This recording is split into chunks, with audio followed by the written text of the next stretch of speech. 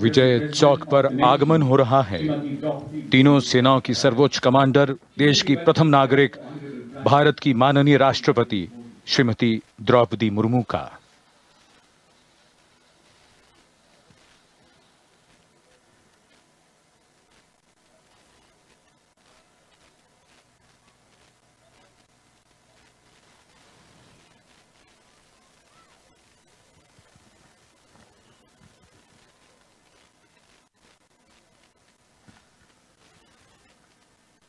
उनकी अगवानी की गई।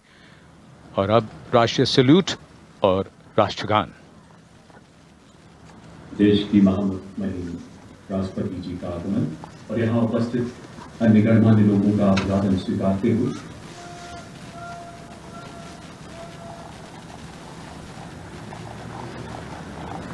The President's bodyguard will now be lined up in review order for national salute.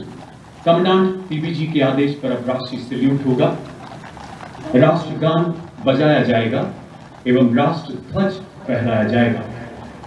Ladies and gentleman you are all requested to rise those in uniform with salute अब president bodyguard द्वारा राष्ट्रीय salute होगा।